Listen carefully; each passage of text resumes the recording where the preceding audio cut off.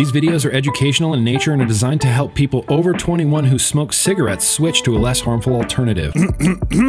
All right, what's up, everybody? It's Grimm Green back here today. Yeah, and uh, people kept telling me that I needed a handle on this microphone, so I'm using a a Nevoks pod battery because I, I feel like that's pretty on brand for this channel. Anyway, today we're going to be doing a good old fashioned vaping myths and facts type of video. I know that there are a mountain of these out there already across all sorts of social media platforms, including like Twitter and people's blogs. I don't know where anybody else is getting their information from, but all of the information we're going to be sharing today comes directly from the United Kingdom's National Health Services. So much misinformation floating around out there about vaping. Everything we're going to be talking about today is for nicotine vaping, not cannabis, THC, dab carts, or dry herb vaporizing, or anything like that. Now, Myth number one, the big one, the biggest myth. Vaping is just as harmful as smoking, and that's a no. That's a hard no that it's just as harmful as smoking. Vaping might not be risk free, but it is substantially, dramatically, an order of magnitudely less harmful than smoking those traditional cigarettes. Traditional cigarettes are loaded with additives and toxic chemicals and TSNAs and carcinogens and tar. None of that is present in a nicotine vape. UK experts did a deep dive on this in 2022 and found that in the short and medium term, vaping only poses a fraction of the risk of smoking cigarette. And logic dictates that even like long-term use would still be fractional in terms of harm. I anecdotally have been nicotine vaping for 14 years. I've, I've had my lungs x rayed. I've had my heart stress tested by my cardiologist. I've had my ENT doctor look down my throat with a camera, and he said that he would have never known that I was ever a smoker if I didn't tell him. Myth number two Nicotine, right? Real bad for you. Causes Cancer? No. Nicotine itself is, is not the main villain in this story. Nicotine is dangerous because it addicts you to deadly combustible tobacco cigarettes where all of the harm happens. Nicotine, while addictive, doesn't cause cancer or lung disease or heart disease or stroke. In fact, it's been safely used for decades in quit smoking medicines and NRTs with no adverse effects. Nicotine is a very mild stimulant, and when it's divorced from burning tobacco, it's about on the same level as caffeine, and like caffeine, it's also dependent forming. In fact, before the terminology of addiction sort of took over the world, health officials and society like at large used to refer to other people's smoking as a habit. Cigarettes are engineered with additives and MAOIs to be more addictive than what nicotine is capable of on its own. Myth number three Vaping doesn't help you quit smoking. Yeah, this is one of those myths that's just been busted so many times it boggles my mind that people still think it's a myth. The UK is demonstrating this fact right now Sweden is demonstrating this fact right now. New Zealand, South Korea, Japan, even with our own terrible, terrible regulations in the US, the US is kind of proving this fact right now that vaping helps in quitting smoking. The CDC admits this, the FDA admits this, the World Health Organization admits this, the Cochrane Library has high certainty evidence that vaping helps in quitting smoking. This is a myth that needs to die, but I have a feeling, man, it just won't. Myth number four. You know, vaping, it's just swapping one addiction for another, isn't it? This is the one that people seem to have a real problem with. I even hear this kind of horse shit from other vapers. Vaping delivers nicotine in one of the safest ways possible. Yes, cigarettes and vaping both contain nicotine, but all of the harm comes from combusting tobacco. Like I said, so many toxins, TSNAs, additives, carcinogens, MAOIs, tar, vaping spares you from most to all of that. And when someone is ready, they can taper down their nicotine until they're nicotine free. Cigarettes just straight up do not give people this option. So, yeah, it's kind of swapping one addiction for another, but the other isn't going to kill me. Smoking cigarettes still kills 8 million people globally every single year. I feel like once we can get that number down to about zero, then maybe we could have a discussion about your moral objection to my nicotine use.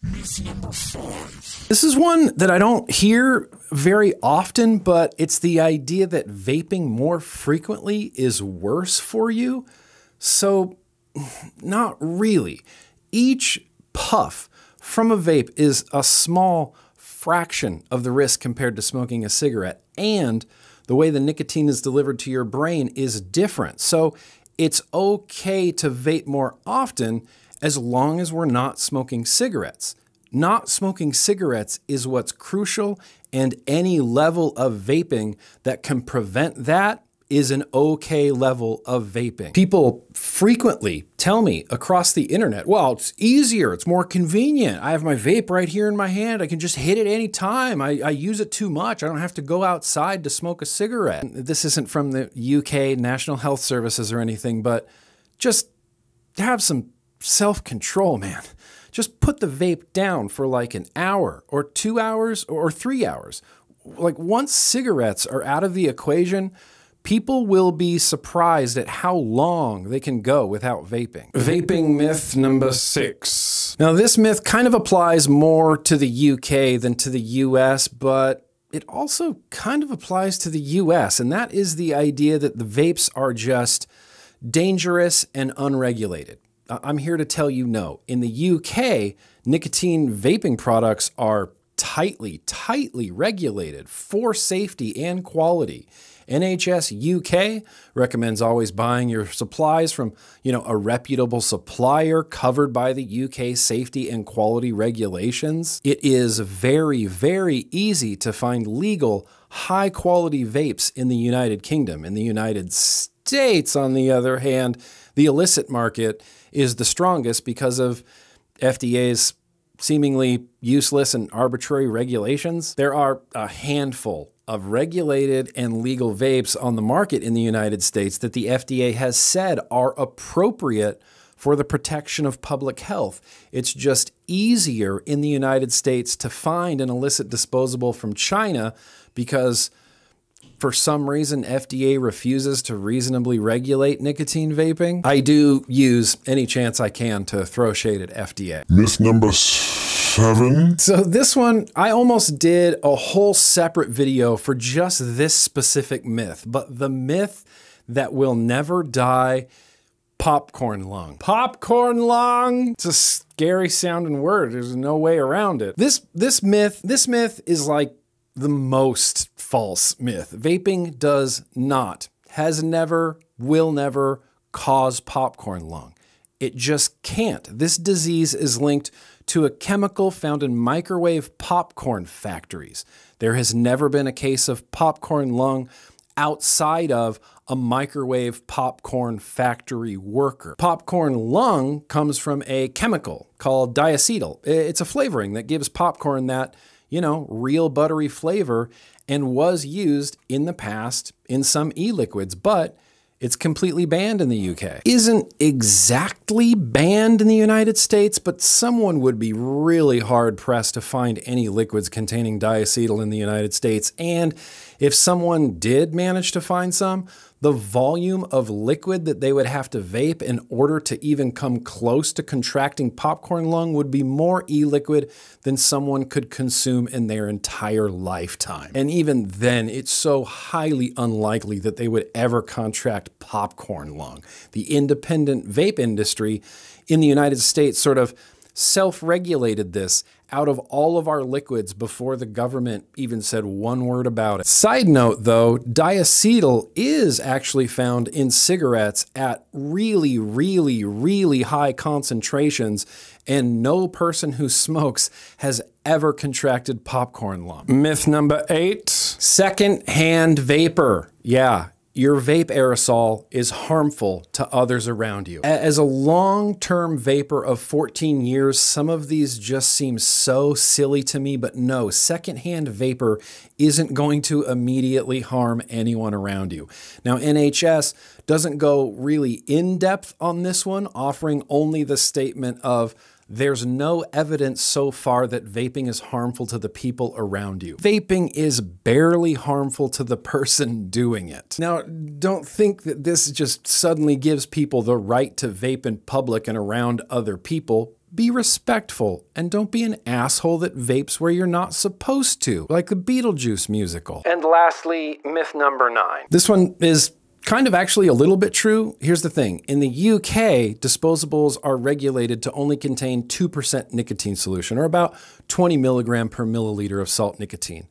Elsewhere in the world, like in the United States, where again, the FDA has yet to regulate anything other than a handful of products from big tobacco, disposables are generally illicit and in the 50 milligram per milliliter range. But despite this, I think it's important to remember that there's no benefit to overdoing it with nicotine. Nicotine doesn't get you high, nicotine doesn't intoxicate. Too much nicotine just makes people sick. It gives me a headache, it makes me nauseous. The nicotine receptors in my brain know exactly how much nicotine I do or don't use, and I always get the correct amount because my brain knows. If someone is accustomed to getting a certain satisfying dose of nicotine, and that person picks up a 50 milligram disposable, and suddenly they're getting more nicotine than they're used to, logically speaking, that person would use the 50 milligram less than if they were using a 20 milligram to reach the same level of satisfaction. 50 milligram, 50 milligram disposables undeniably have more nicotine than, say, a 20 milligram disposable. But again, there's no benefit, literally zero benefit, actual detriment to overdoing it with nicotine. It's completely unnecessary. So that's all of the myths that NHS UK addressed, but if you can think of any more, let me know down in the comments and I'll do my best to address them. That, as they say, is what I got for today. Please drop a like on this video, even if you hate me, and, and think about subscribing because there is a mountain of tobacco, nicotine, and vaping misinformation out there to be corrected. This has been a Grimm Green video. Let's stay smoke free, like every single day. it's like 10:30, and I'm. Uh